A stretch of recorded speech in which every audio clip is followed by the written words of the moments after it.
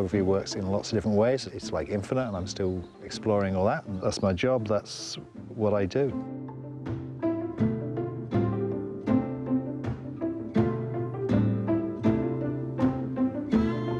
I was always on the street taking pictures, and kids got to know me. They'd always be saying, "Take our picture." I became known as Photy Man because I was the one who took the photies.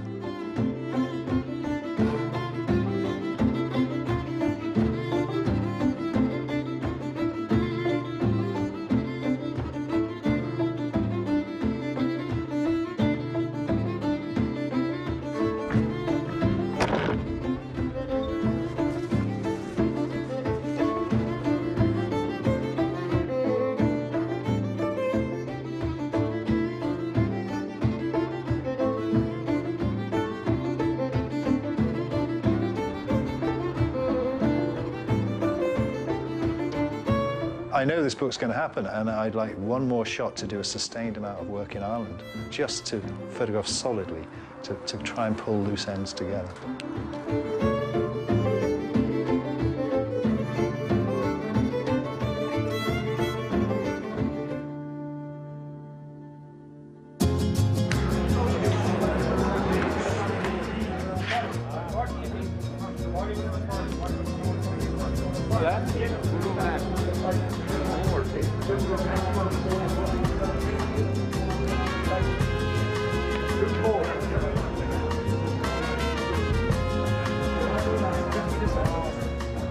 We're at the Farmers Mart in Ballynanno, which is the biggest town probably in, in Mayo.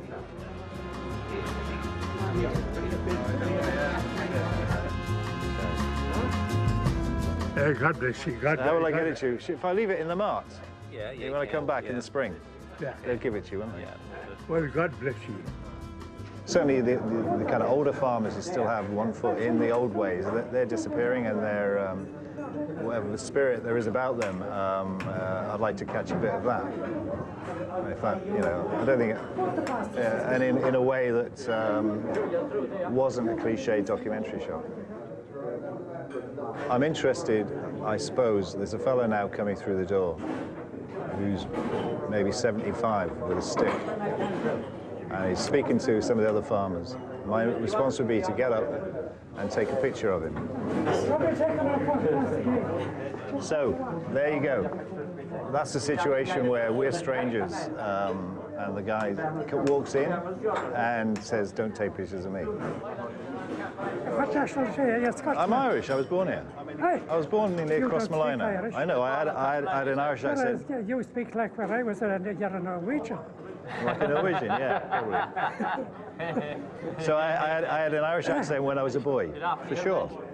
I had a Catholic mother, Protestant father, and, and we ended up going to England. But I always came back every summer for the holidays, you know, and took pictures. And now they're going to make a book. I'm 90 years.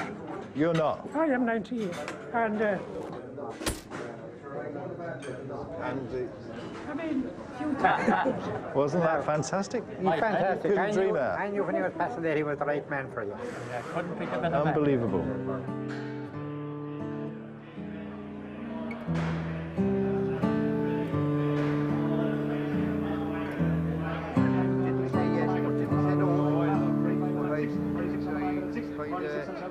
The older I've got, I'd say the more pictures I take, and the easier it is to do it. So when I was stood up there with the auctioneer, you know, I, I know which lens I've got on there. All the time the camera is, is just down here at my waist or at my chest, I'm still taking pictures. You know, if I raise it to my eye, that might change the situation, but the little, all those little gestures and stuff, you know, that's going on between those guys, I'm interested in that. Um, so it could be there in one frame, you know, the way the guy look, looks up to the, the auctioneer, those little things. That, that's the kind of dance thing you're doing. I can make 50 pictures around an interesting scene, and 48 are okay, have interesting things with them, but don't live, don't work. But one or two may go, you know, something else happens.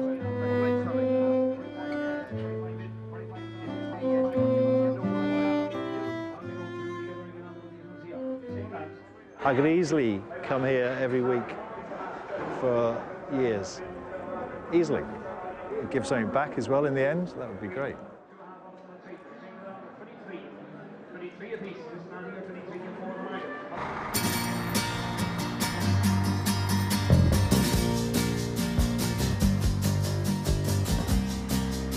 Because I didn't drive, I spent a lot of time on buses every day.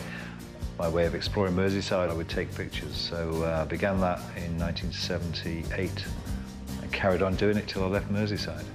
That's like over 20 years um, of pictures.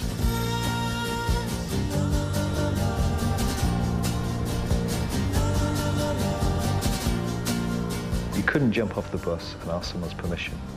So you just had to take it. That's all part of the, the whole learning process doing candid pictures.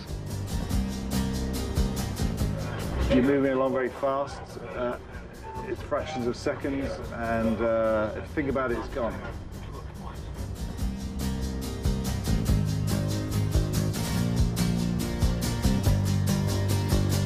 I used outdated cine film because it was very cheap. From about 1989, I used all colour. I spend my life doing that. That's just normal. But uh, sometimes it's two hours or whatever. And the journey becomes part of the whole working process. And then you get off somewhere and you've already been working, and that momentum carries you through the day. And you do the same on the way back.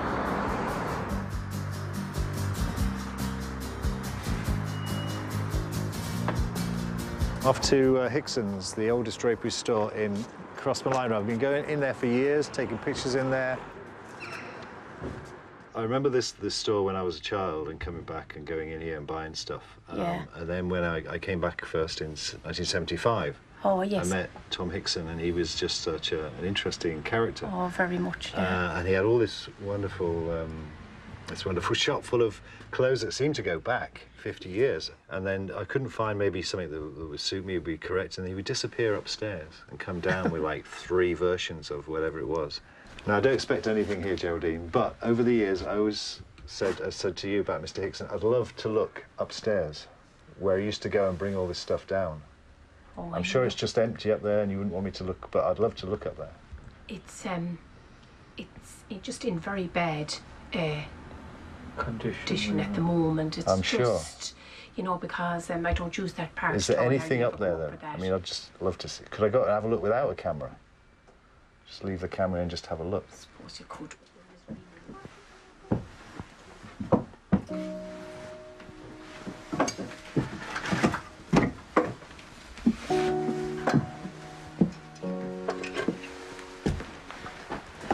Now look at this. This is unbelievable. You know, this is it. This is just amazing. This is a piece of art in itself. This one shot, just looking there. Those bunch of shoes over there is incredible. In the other rooms, you wouldn't believe what's in the other rooms. Everywhere here is is is just. It's great. It's really good. Just as exciting as as uh, the landscape outside.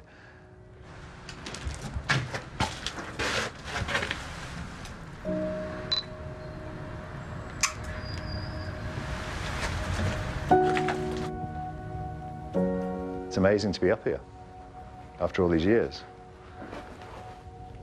I can't believe this. It's uh, every, everywhere, every arrangement looks like uh, I should be taking a picture of it. And the fact I liked Mr. Hickson so much, to come up here and see all this stuff is, is really sad, but at the same time, uh, I don't know. Um, I think it's amazing. I mean, I've been to places like this for so many years. Uh, you know, someone would emigrate and you'd, you know, you'd see this empty house in the middle of nowhere full of all this stuff that no one wanted. And um, I photograph those kind of places a lot.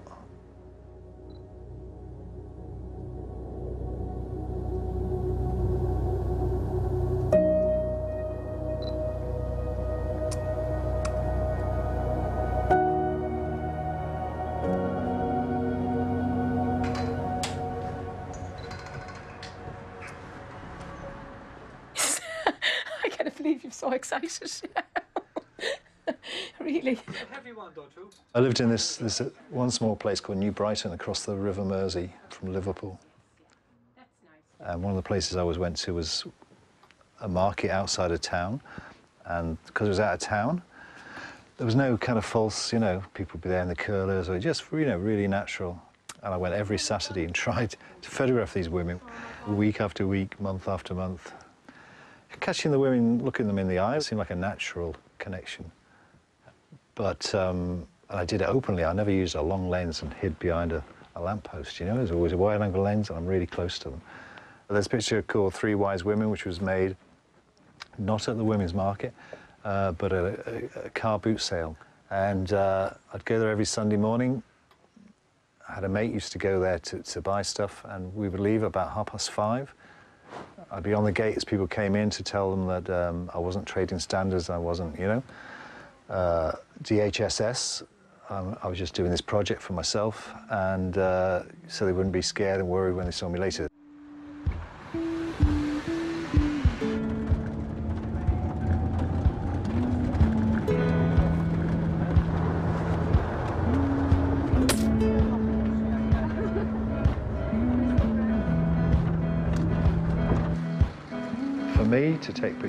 Most of the time is easy and natural and good fun. When I'm out working, I'll have the camera on my shoulder if it's large format or ready in my hand to, to use. Otherwise, if it's in a bag, you know, you have to uh, take the lens cap off and stuff, you know, you think, ah, it's not interesting, I won't bother. You know, the whole key thing is, is to just to have a go, yeah, and you start, and that involves decisions and processes, one decision leads to another, and suddenly you might get a good picture. But other people have spoke about how photography is the easiest of art forms, and maybe that makes it the hardest. But it's, it's easy to get a good picture. The second roll of film I ever shot was my best-selling picture, and I, I still like the picture.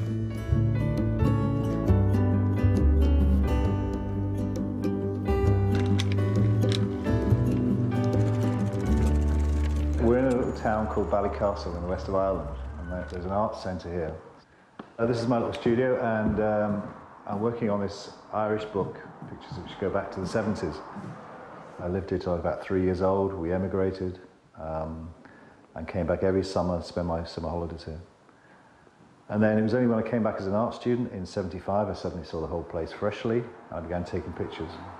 And now, 40 years later, unbelievably, the whole lot has been made into a book uh, alongside a book about Wales, North Wales, where I lived for 10 years, and a book about Liverpool. And that book, the theme was, I thought, was, was uh, landscape.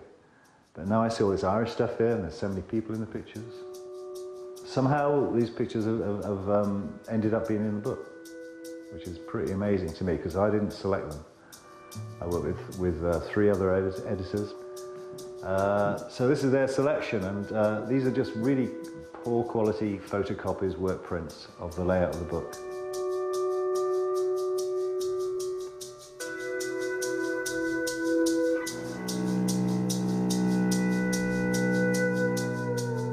Come back to Ireland, I'll be shooting video as well as taking stills.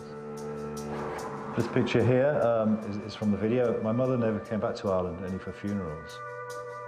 The reason my mother left Ireland was, was for, you know, due to religious intolerance. She was Catholic and she married a Protestant.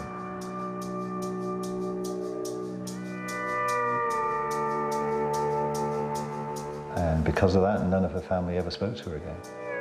That's the story. So to have her in the in the book, uh, her eyes and a bit of that intensity coming across um, is pretty good. But again, I you know that's too close to me to put it in the book. But in fact, someone who doesn't know that story you know, has put it in the book. Um, that's great. Here's a, an early picture of my, my father, and he, he loved the land more than anything. But nevertheless, he he, uh, he left the land and moved to England.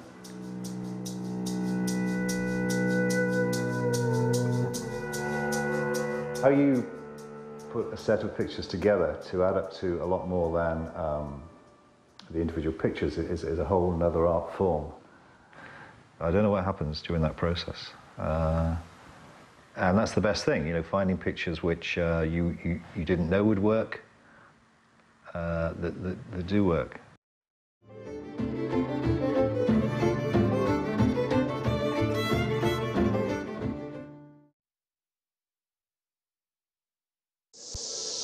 Travel Show, your essential guide wherever you're heading. With a new family of reporters based around the globe investigating the biggest stories in travel. There seems to be a huge divide between tourists and locals. We'll help you get the best out of your gadgets while you're on the road. They love it. Without forgetting to experience the thrill of making memories that will really last a lifetime. Oh! oh. There'll be a wealth of additional destination guides and features from the programme online. And we are all over social media, so look for us there. Not a natural climber. Woo! Follow us on TV, online, and in social media. The Travel Show, your essential guide wherever you're heading, only on BBC World News.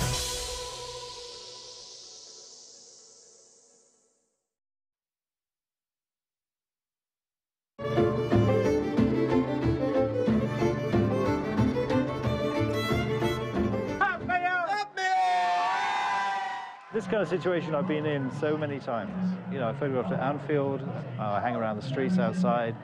Um, in Liverpool, it was the culture of the city, you know, and uh, so how could I not, you know, it's a very exciting place to go.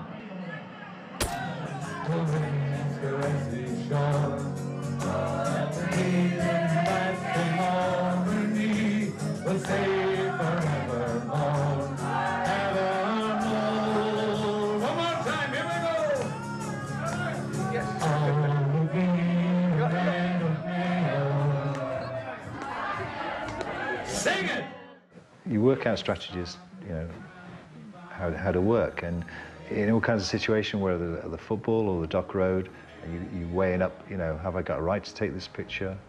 What would happen if I take this picture? Um, at the same time, you know you've got to take it now, or it'll be the moment will be gone. I moved to Merseyside in 1978, and on the corner was, was a nightclub called the Chelsea Reach. Look at all these faces, and I like faces, you know, and all this material. I thought, wow, you know, could I photograph this? I was too shy and scared, you know. It was so noisy. People were drunk. They would think you're a pervert and so on. I only knew you for a while. I never saw you. Well, but if it was easy, if I was invisible, I wouldn't have those kind of tensions. It probably wouldn't be as good. I wouldn't be as involved, maybe. Did it really seriously from 84 to 86. I say seriously, three nights a week I'd go in there. A lot of the people I would see on the street would end, you know, they were teenagers or whatever. By 1985, they'd be in the club. They would know me from the streets. So That made it easier. I knew I wanted to get the emotion and the feeling. I, I was spending my life, my time looking at them, and they're like looking at each other, and uh, looking for love seemed okay as a title.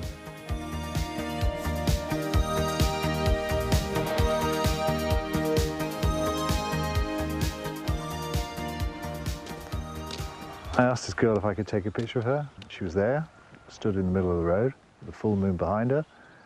The, the water still glistening on the road, and it was late this kind of time of day. It was a long exposure. I handheld it at like quarter of a second. It's not absolutely sharp, a bit underexposed, but it's a picture.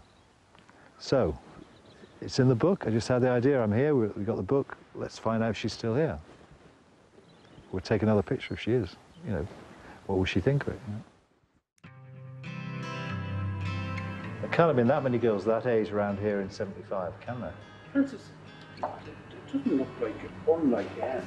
It, but it's not Anne, Tom, because Anne had the short hair. That, they, that's short curly hair, Tom. Anne has a short curly hair.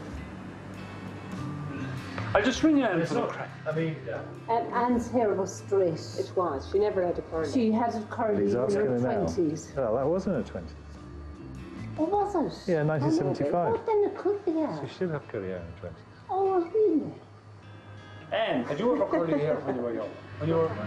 Did you? 1975, 76. Francis, Anne is saying that's her. Well, maybe it is, Tom. That, I've never that she seen can her remember. Can I put you on to that man, Anne? Never saw Anne with curly hair. and Go that's on, the- come on. He's beside me now and he'll be disappointed if he doesn't talk to the woman in the picture. Now, he's not looking for an old girlfriend or anything, no. No, he's, he's married with two kids. Congrats for finding for finding. There was a full moon in the evening, Anne. Yeah. Hold on. Hi, hello. Yeah, no, it's just Tom. I suppose I didn't recognize And just made pictures all these years, and suddenly um, lots of things are happening, books are being published. And now that's gone in a book, which has gone all over the whole world. So any of the, any of yours in Dublin? Well, they, they could come to the opening.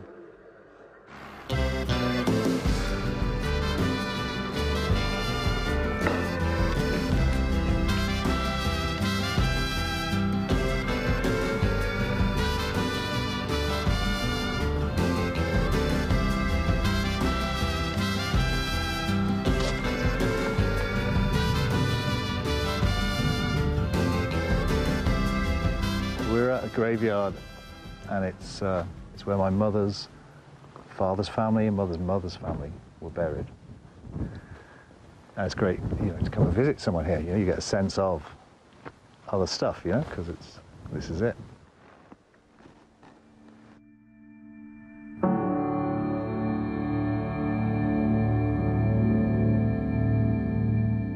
Over the years, I've never made any money doing this. Photography is really expensive. You shoot a lot of film, the film's expensive. You've got to pay for the process, you have to make work prints um, if you don't work commercially. So my way of working was to, uh, I taught BTEC photography.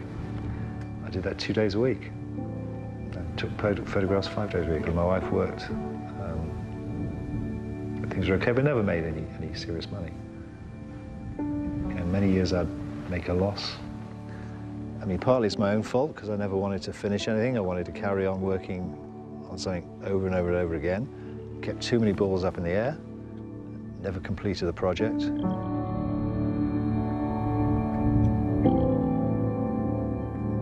People could tell where you're coming from. So if I did it for free, you know, of kind of love for the situation, the people, that seemed a fair exchange. I'm kind of stealing the pictures in a way, but I'm giving all this stuff back because it'll be there, you know, one day for those people.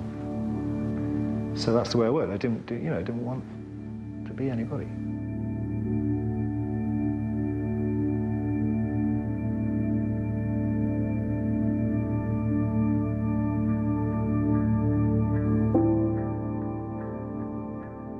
When a galleries started representing me and I was selling prints, I couldn't believe it.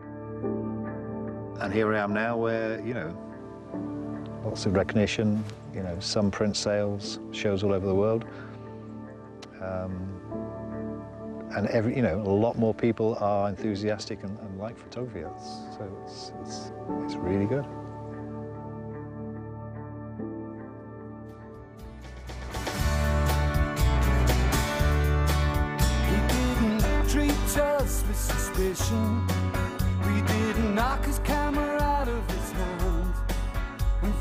Chelsea to the Florida Pavilion, we shout out over here, 40 man. He caught us kissing who we shouldn't. Us dressed up and dancing to wine. And from late evening to the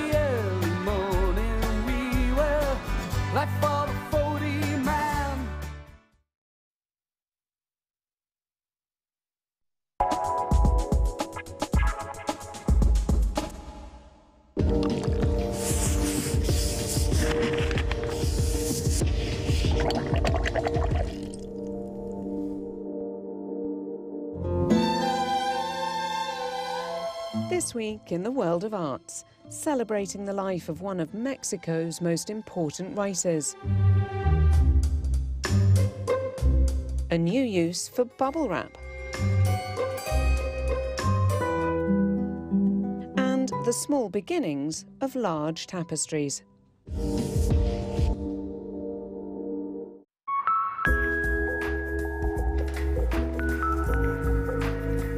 But first, LA's Museum of Contemporary Art is holding a retrospective of more than 250 works by Mike Kelley. Working in sculpture, photography, and painting, the late artist made a name for himself as a chronicler of American alienation. Highlights include his series of discarded stuffed animals, a model of a sci fi city, and a statue of astronaut John Glenn, covered in broken ceramic.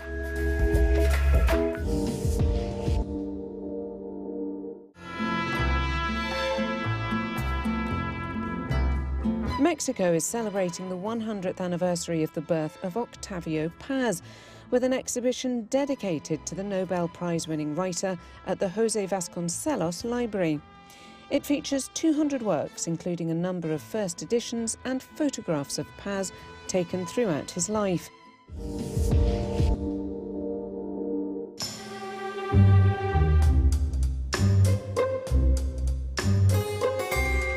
Most people can't resist giving it a good squeeze, but for New York based artist Bradley Hart, bubble wrap is his canvas.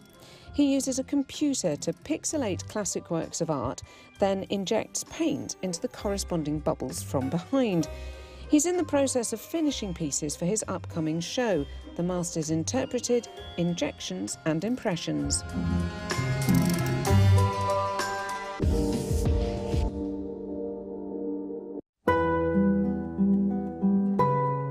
Madrid's Prado Museum is exhibiting six oil sketches painted by 17th century Baroque artist Peter Paul Rubens on the subject of the Eucharist.